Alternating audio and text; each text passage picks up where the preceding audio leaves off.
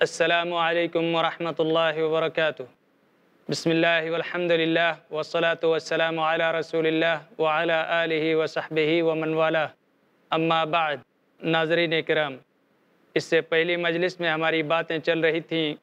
انسانوں کے تخلیق کا مقصد کیا ہے اور وہ کیا طریقہ ہے جس سے اپنی زندگی کو انسان عبادت بنا سکتا ہے۔ زندگی میں جو بھی کام کرے، وہ عبادت بن جائے۔ اس کا طریقہ کیا ہے؟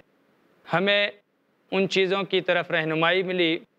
اللہ تعالیٰ نے فرمایا، وما امروا الا ليعبدوا الله مخلصین له الدین کہ جو بھی عبادت کریں، جو بھی کام کریں، وہ خالص اللہ کے لیے کریں۔ اور دوسری آیت میں اللہ نے ہماری رہنمائی فرمائی کہ جو بھی کام کرو، وہ نیک کام کرو۔ فمن کان یرجو لقاء ربه فلیعمل عملا صالحا۔ نیک کام کرو یعنی کہ طریقہ محمدیہ صلی اللہ علیہ وسلم میں انجام دو۔ اور اپنے رب کے ساتھ کسی کو شریک نہ کرو، تو تمہاری پوری زندگی عبادت بن جائے گی۔ کیونکہ عبادت نام ہے ہر اس قول اور فعل یا عقیدے کا جو اللہ تبارک و تعالیٰ کو خوش کرنے والا ہو۔ اسے عبادت کہتے ہیں۔ اور اس میں ہمارے رسول صلی اللہ علیہ وسلم کا طریقہ، ان سے جڑے کئی مسائل جو ہمارے ایمان کا حصہ ہیں، یہ آج کی مجلس میں ہمارے ساتھ آئیں گی انشاءاللہ۔ اللہ تبارک و تعالیٰ نے ایمان کے اندر ایک جز قرار دیا نبیوں اور رسولوں پر ایمان کو۔ جیسا کہ ہمیں پتہ ہے، ایمان کے چھ ارکان ہیں۔ چھ ارکان میں سے ایک رکن ہے نبیوں اور رسولوں پر ایمان۔ اور نبیوں رسولوں پر ایمان کے ارکان میں سے ایک بہت ہی اہم رکن ہے ہمارے رسول صلی اللہ علیہ وسلم پر ایمان۔ ہمارے رسول محمد صلی اللہ علیہ وسلم پر ایمان لائے بغیر ایمان بالرسالہ ہو ہی نہیں سکتا، اس کی تکمیل ہو ہی نہیں سکتی۔ اور ہمارے رسول صلی اللہ علیہ وسلم پر ایمان لانے کے بھی کئی ارکان ہیں۔ ان ارکان میں سے کئی چیزوں کا ذکر ہم کریں گے تاکہ یہ بات واضح ہو جائے کہ ہمارے رسول صلی اللہ علیہ وسلم کی اہمیت کیا ہے ہمارے دین میں۔ اللہ تبارک و تعالیٰ نے فرمایا، لقد کان لکم فی رسول اللہ اسوۃ حسنہ کہ محمد صلی اللہ علیہ وسلم کی زندگی میں لوگوں، تمہارے لیے نمونہ ہے۔ آپ صلی اللہ علیہ وسلم کی زندگی ہمارے لیے ایک سانچہ ہے، جس سانچے میں ڈھل کر ایک مسلمان، کمپلیٹ نکل سکتا ہے۔ نہ اس میں کوئی کمی ہوگی، نہ کوئی زیادتی ہوگی۔ اللہ تبارک و تعالیٰ نے اسلام کو ایک گھر کی مثال دی ہے۔ اللہ کے رسول صلی اللہ علیہ وسلم فرماتے ہیں کہ مومن ایک مومن کے لیے اینٹ کی طرح سے ہے، کیونکہ اسلام ایک بلڈنگ کی طرح سے ہے اور مومن ایک دوسرے مومن کے لیے ایسے ہی ہے جیسے دیوار میں ایک اینٹ کے ساتھ دوسری اینٹ جڑ جاتی ہے۔ تو ایک اینٹ دوسرے کو پکڑ لے، یشد بعضہ بعضا ایک اینٹ دوسری اینٹ کو پکڑ لیتی ہے، اس میں غارے وغیرہ لگائے جاتے ہیں اور وہ ایک دوسرے کو پکڑ لیتی ہے، ایک اینٹ دوسری کو۔ تو اس طرح سے مسلمانوں کی کیفیت ہے کہ وہ ایک دوسرے کے لیے اینٹ کی حیثیت ہے دین اسلام کی عمارت میں ہر مسلمان کو نہ چھوٹا ہونا ہے، نہ بڑا ہونا ہے، ایک لیول سے ہونا ہے تاکہ وہ اس دیوار پر فٹ بیٹھے، نہ چھوٹا ہو، نہ بڑا ہو۔ یہاں ایک دلچسپ بات یہ ہے کہ اگر چھوٹا ہو جائے تو وہاں قدر تلافی مشکل نہیں ہے۔ لیکن اگر بڑھ جائے تو ایسی صورت میں اس کی تلافی بہت مشکل ہے اور کہیں ایسا نہ ہو کہ دیوار ہی توڑنی پڑ جائے۔ یہی مثال دین اسلام میں بھی ہے۔ اگر کسی کے اندر کوئی کمی ہے عمل میں کوتاہی ہے، کوئی عمل نہیں کر سکا ہے۔ اس کی تلافی قدر آسان ہے، ممکن ہے اس کی تلافی ہو سکے۔ گارے وارے ڈال کے اس کھانے کو پر کیا جا سکتا ہے۔ لیکن جو بڑھ جائے، اس کی تلافی بہت مشکل ہوتی ہے۔ اور اسی کا نام ہے بدعت۔ نئے کام شروع کر لینا۔ اور اللہ کے رسول صلی اللہ علیہ وسلم نے اس کی بڑی وعید فرمائی ہے۔ اللہ تبارک و تعالیٰ نے محمد الرسول اللہ صلی اللہ علیہ وسلم کی زندگی کو سانچا اور فریم بنایا ایک کمپلیٹ مسلمان کے لیے تاکہ اس سے نہ کم ہو، نہ زیادہ ہو۔ اللہ تعالیٰ نے فرمایا، یا ایوہ الذین آمنوا دخلوا فی السلم کافہ ولا تتبعوا خطوات الشیطان انہو لکم عدو مبین۔ اے لوگو، دین اسلام میں مکمل داخل ہو جاؤ۔ ایسا نہ ہو کہ کوئی ایک مسئلہ تم مان لو، دوسرے مسئلے میں انکار کر دو، ایک کو تم تسلیم کر لو، دوسرے کا انکار کر دو، ایسا نہیں ہو سکتا۔ بلکہ اپنی پوری زندگی کو اس سانچے میں ڈھال لو، کہیں کوئی چیز کمی نہ رہ جائے، کوئی زیادتی نہ ہو جائے۔ ادخلو فی السلم کافہ۔ پوری طریقے سے اپنے کو ڈھال لو اس سانچے میں۔ وَلَا تَتَّبِعُوا خُطُوَاتِ الشَّيْطَانِ۔ اور شیطان کی پیروی نہ کرو۔ شیطان ابلیس یہ تمہارے پیچھے پڑا ہے بہت پہلے سے۔ انشاءاللہ اس کی تفصیل آئے گی۔ ہم جانیں گے کہ یہ کب سے انسان کا پیچھا کر رہا ہے اور کب سے انسان کو ورغلانے کی کوشش میں لگا ہے۔ اللہ تبارک و تعالیٰ نے ہمارے رسول صلی اللہ علیہ وسلم کی زندگی کو ایک مسلمان کے لیے نمونہ اور پریم بنایا۔ اب دوسری جگہ دیکھیں۔ اللہ تبارک و تعالیٰ فرماتا ہے قل ان کنتم تحبون اللہ فتبعونی یحببکم اللہ۔ اے نبی، آپ لوگوں سے کہہ دیجیے، کیا تم چاہتے ہو کہ اللہ تم سے محبت کرنے لگے؟ اگر ایسا چاہتے ہو تو ایک ہی راستہ ہے، تم میری اتباع کرو۔ اے نبی، جب آپ کی اتباع کریں گے لوگ، تو میری محبت ان کو ضرور ملے گی اور وہ اس کو حاصل کرنے میں کامیاب ہو گئے۔ تو اللہ تبارک و تعالیٰ کی اگر محبت کوئی چاہتا ہے تو اسے رسول کی اتباع کرنی ہوگی۔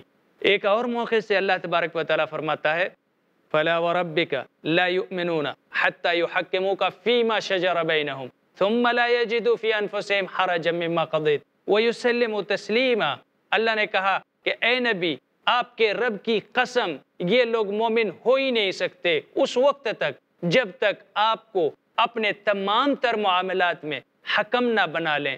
سارے ججوں کو چھوڑ کر آپ کو اپنا جج نہ بنا لیں۔ سارے دنیا کے مسائل اور حل کرنے والے لوگوں کو چھوڑ کر آپ کے پاس نہ آئیں۔ کوئی بھی مسئلہ ہو، کوئی بھی بات ہو، آپ کے سامنے آ کر بیان کریں۔ آپ ان کا فیصلہ کریں۔ حتیٰ یحکمو کا سب سے بڑا جج آپ کو مانیں اور آپ کے پاس اپنے قضایا لے کر آئیں، اپنے مسائل لے کر آئیں۔ اور جب آپ ان کا فیصلہ سنا دیں، وَيُسَلِّمُ تَسْلِيمًا۔ تو اس کو بغیر تنگی محسوس کیے، اپنا دل چھوٹا کیے بغیر بغیر کسی ناراضگی یا دباؤ کے مجبور و مقہور ہو کر نہیں، بلکہ کھلے دل کے ساتھ، راضی اور خوشی کے ساتھ آپ کے فیصلے کو نہ مان لیں۔ تب تک وہ مومن نہیں ہو سکتے۔ تو اگر کوئی رسول صلی اللہ علیہ وسلم کے فیصلے کو نہیں مانتا عملی اعتبار سے، تو اللہ تعالیٰ قسم کھا کے کہتا ہے، اللہ جھوٹ نہیں بولتا۔ لیکن اس کے باوجود وہ قسم کھاتا ہے اور کہتا ہے کہ اے نبی، آپ کے رب کی قسم، وہ لوگ مومن نہیں ہو سکتے جو آپ کو حکم نہیں بناتے، اپنے تمام معاملات آپ سے فیصلہ نہیں کرواتے، وہ مومن ہو ہی نہیں سکتے۔ اور جو لاتے ہیں فیصلے کروانے اپنے معاملات اور آپ ان کا فیصلہ کر دیں، اس کو اگر تنگی کے ساتھ مانتے ہیں، مجبور ہو کر مانتے ہیں، تب بھی وہ مسلمان نہیں۔ اللہ یہ کہ وہ راضی خوشی کے ساتھ اس فیصلے کو مان لیں۔ تو اللہ تعالیٰ نے یہی فرمایا کہ حتیٰ یحکموک فیما شجر بینہم، ثم لا یجدو فی انفسہم حرجا۔ پھر اپنے دلوں میں وہ تنگی محسوس نہ کریں، مجبوری محسوس نہ کریں۔ وَيُسَلِّمُ تَسْلِيمًا کھلے دل کے ساتھ آپ کے فیصلے کو تسلیم نہ کر لیں، وہ مومن نہیں ہو سکتے۔ جب یہ دنیا کے تمام مسائل کے بارے میں اللہ تبارک و تعالیٰ نے مرجع اپنے رسول صلی اللہ علیہ وسلم کو بنایا اور اس کی وجہ یہی ہے کہ رسول اپنی طرف سے نہیں بولتے، وہی بات بولتے ہیں جو رب بولنے کا حکم دیتا ہے۔ رسول کی زبان نہیں کھلتی جب تک رب کی بات نازل نہیں ہوتی۔ زبان استعمال نبی کا ہوتا ہے، لیکن باتیں اللہ کی ہوتی ہیں۔ وما ينطق عن الهوى ان هو الا وحي يوحى۔ اللہ کے رسول صلی اللہ علیہ وسلم اپنی طرف سے کچھ نہیں بولتے۔ بولتے وہ باتیں ہیں جو رب اتارتا ہے ساتوں آسمانوں کے اوپر سے۔ جو وہی کی جاتی ہے وہی نازل ہونے کے بعد اللہ کے رسول صلی اللہ علیہ وسلم اسے بیان کرتے ہیں، ورنہ آپ بولتے نہیں۔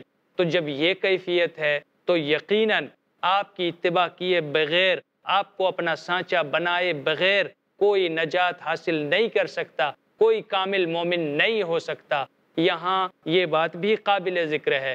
بہت سارے لوگ اس غلط فہمی میں مبتلا ہیں کہ وہ زمانہ اور تھا، اس وقت یہ مسئلہ ایسا تھا اور اب زمانہ ایسا ہے، اس میں چینجنگ آنی چاہیے۔ تبدیلی کا تقاضا کرتے ہیں، وہ سوچتے ہیں کہ وہ اس زمانے کے لحاظ سے وہ مسئلہ صحیح تھا، لیکن اب کے زمانے کے حساب سے اب کا مسئلہ تھوڑا سا الگ ہونا چاہیے، ایسا سوچتے ہیں۔ اور یہ بہت ہی غلط ہے کیونکہ جس رب نے اس زمانے میں یہ مسئلہ بنایا، اسی رب کو یہ پتا تھا چودہ سو سال بعد حالات کیسے بنیں گے اور ظروف کیا ہوں گے۔ تو اس وقت مسئلہ جب اس نے بنایا، تو یقیناً ان چیزوں کی رعایت اس نے کی ہے۔ اور ان رعایتوں کے ساتھ جب اس نے دین کو بنایا ہے، ان اصولوں کو بنایا ہے، تو ہمیں یہ کہنے کی حاجت نہیں کہ اب مسائل میں تبدیلی کی ضرورت ہے، کوئی تبدیلی کی ضرورت نہیں، بلکہ وہ من و ان ویسے ہی ہیں، جیسے تھے ویسے ہیں اور ویسے ہی رہیں گے۔ ان کی افادیت بھی جیسی تھی ویسی ہے اور ویسی ہی رہے گی، اس میں کوئی تبدیلی نہیں آ سکتی۔ اور یہی ہے وہ طریقہ جسے ہم کہتے ہیں سنت محمدیہ صلی اللہ علیہ وسلم، جو ہمارے دین کا محور ہے، جو دین اسلام ہے۔ یہ دو ہی چیزوں کا نام ہے، کتاب اللہ و سنت و رسول اللہ۔ سنت رسول اللہ جو ہے، صلی اللہ علیہ وسلم، یہی وہ بنیاد ہے جس کی طرف یہ آیتیں اشارہ کرتی ہیں اور یہ ایمان اشارہ کرتا ہے کہ آپ کو اپنا رہبر، اپنا سانچہ، اپنا فریم بنائے بغیر کوئی بھی مسلمان نہیں بن سکتا۔ جو کمپلیٹ مسلمان بننا چاہتا ہے، کامل مومن بننا چاہتا ہے، اس کے لیے ضروری ہے کہ وہ رسول کے سانچے میں ڈھل جائے تبھی وہ بن سکتا ہے۔ اور یہی بات کہی اللہ تبارک و تعالیٰ نے کہ جب تک آپ کو اپنا حکم نہ بنائے تمام ججوں کو چھوڑ کر آپ کو اپنا جج نہ بنا لیں، سارے مسائل میں آپ سے رجوع نہ کریں، تب تک وہ مسلمان نہیں ہو سکتے۔ ناظرین کرام، اللہ کے رسول صلی اللہ علیہ وسلم کا جو یہ مقام ہے، ہم زبانی طور پر یقیناً مانتے ہیں، ہم کہتے بھی ہیں اقرار بھی کرتے ہیں کہ ہمارے رسول صلی اللہ علیہ وسلم کا بڑا درجہ ہے اور ان کی اتباع ہمارے لیے فرض ہے، ان کی سنتوں پر عمل کرنا ہمارے لیے ضروری ہے۔ ان تماموں کے باوجود ہم عملی طور پر کئی بار رسول صلی اللہ علیہ وسلم کی مخالفت کر رہے ہوتے ہیں اور کئی بار زبان سے بھی ہم مخالفت کر رہے ہوتے ہیں۔ اور یہ کھلا تضاد ہے ہمارے قول میں اور ہمارے کردار میں۔ ہمارے قول میں تو یہ آیا کہ ہمارے رسول صلی اللہ علیہ وسلم، آپ ہمارے لیے اسوا اور نمونہ ہیں، لیکن ہمارا جو کردار ہے، ہم نے کردار سے یہ ثابت کیا، اپنے اعمال سے یہ ثابت کیا کہ رسول کی ہمیں ضرورت نہیں ہے۔ اپنے ہر عمل کو رسول صلی اللہ علیہ وسلم کے طریقے پر انجام دیا جائے، یہی ایمان کا تقاضا ہے۔ لہٰذا جب ہم اللہ کے رسول صلی اللہ علیہ وسلم کے مطابق اپنی زندگی کو ڈھال لیں گے، تو ہمارے سارے اعمال رسول صلی اللہ علیہ وسلم کے عمل کے مطابق ہوں گے اور اس کی وجہ سے ہماری پوری زندگی عبادت بن سکتی ہے۔ اور زندگی کے عبادت بننے کا یہ اس کے لیے پہلی شرط تھی کہ تجرید المطابعہ ہو۔ فمن کانا یرجو لقاء ربہ فلیعمل عملا صالحا، عمل صالح اس وقت ہوگا جب رسول کی اتباع میں ان کی اطاعت و فرما برداری کرتے ہوئے ان کے طور طریقے کے مطابق کیا جائے۔ تو ہر کام عبادت بن سکتا ہے۔ چاہے وہ کھانا پینا ہو، چلنا پھرنا ہو، اٹھنا بیٹھنا ہو۔ حتیٰ کہ کوئی اگر اپنی بیوی کے حقوق ادا کرتا ہے تو وہ بھی عبادت ہے۔ اگر رسول صلی اللہ علیہ وسلم کے طریقے پر ہو۔ کچھ مثالیں لینا چاہیں گے۔ اللہ کے رسول صلی اللہ علیہ وسلم نے اپنے ساتھ کھانے کے لیے بیٹھے، ایک بچے سے کہا، یا غلام، سم اللہ وکل مما یلیک۔ کھانے کے لیے بیٹھے تھے۔ اللہ کے رسول صلی اللہ علیہ وسلم نے فرمایا، اے بچے، سم اللہ اللہ کا نام لو، بسم اللہ کہو وہ کل مما یلیک، اور اپنے سامنے سے کھانا شروع کرو۔ پلیٹ جہاں رکھی ہے، اس کے سامنے سے، بالکل اپنے سامنے سے کھانا شروع کرو۔ ایسا نہیں کہ دوسرے لوگ بیٹھے ہیں، ان کے حصے کا جا کے ان کے پاس سے اٹھا رہے ہو، ان کے پاس سے اٹھا رہے ہو۔ تو یہ طریقہ اچھا نہیں ہے۔ سب سے پہلے تو اللہ کا نام لو، بسم اللہ کہو، اور پھر اپنے سامنے سے کھانا شروع کرو۔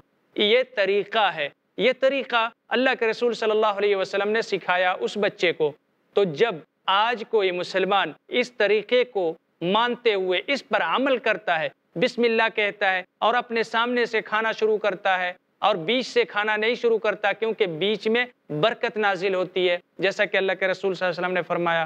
تو یہ طریقہ چونکہ اس نے نبی صلی اللہ علیہ وسلم سے لیا اور اس پر عمل کیا، اس لیے اسے ثواب ملے گا۔ اور ہم نے ابھی پتہ کیا تھا کہ جو شخص کوئی ایسا کام کرے جس میں ثواب ملے، اسی کا نام عبادت ہے۔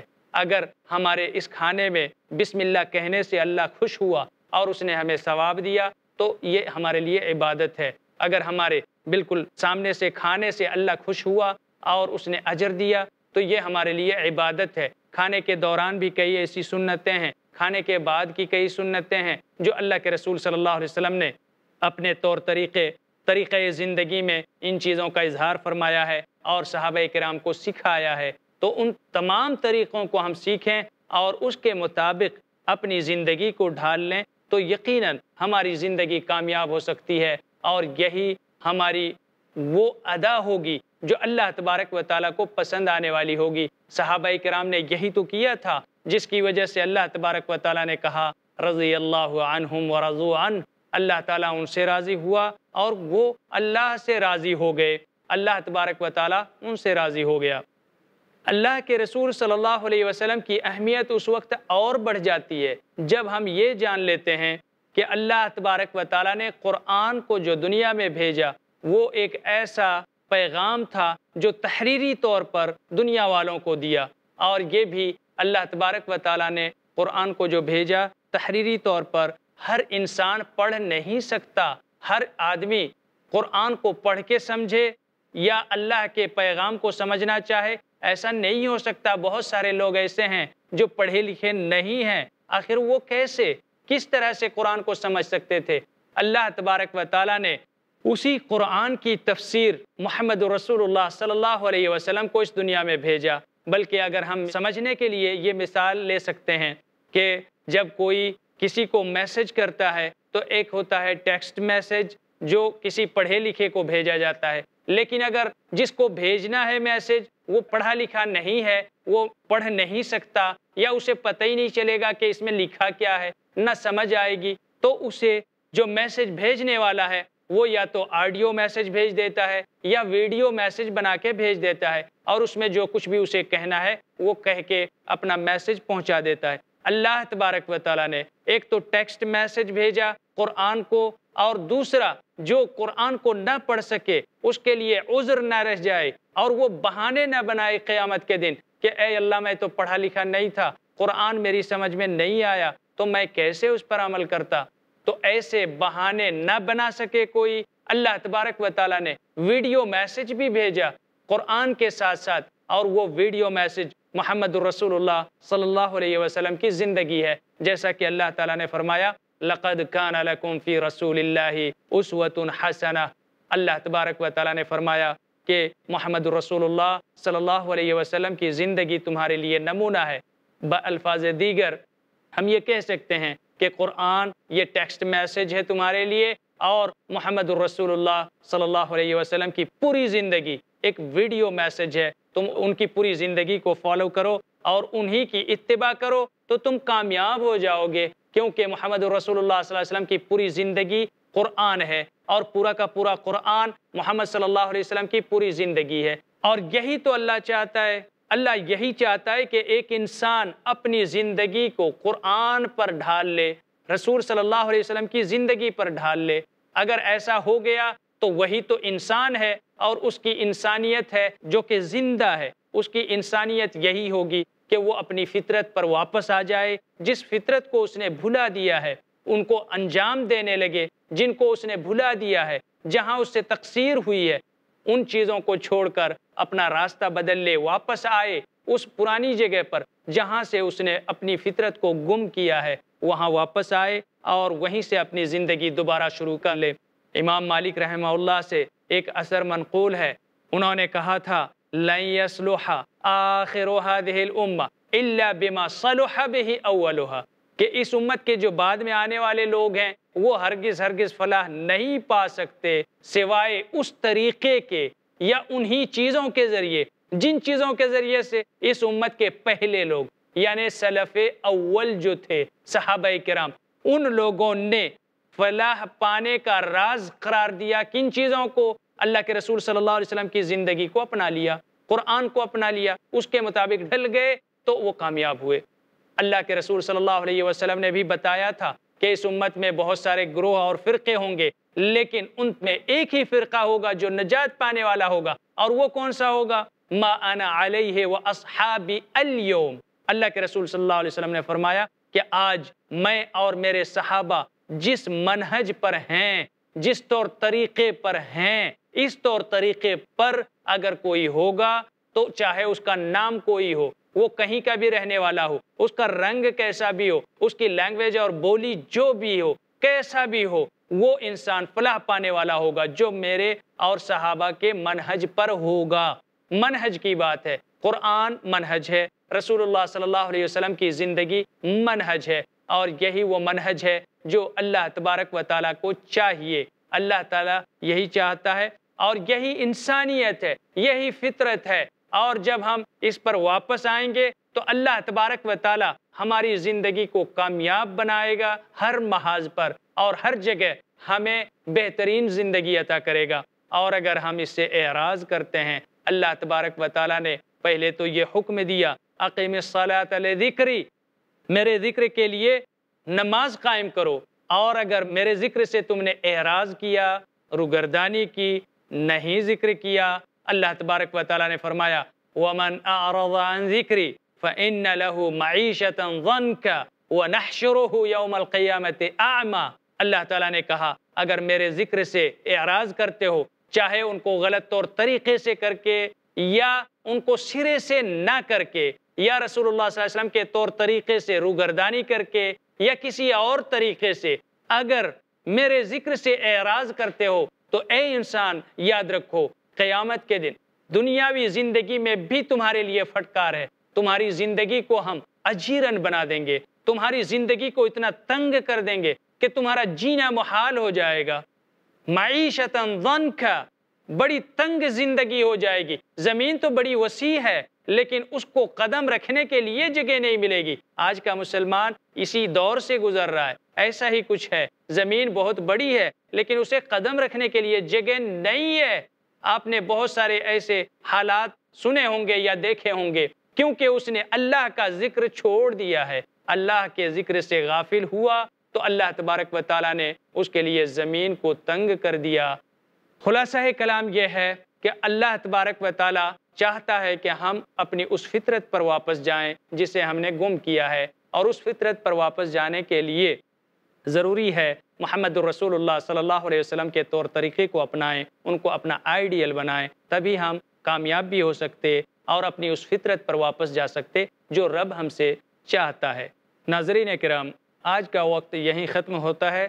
انشاءاللہ پھر ملیں گے اگلی نشست میں۔ السلام علیکم ورحمۃ اللہ۔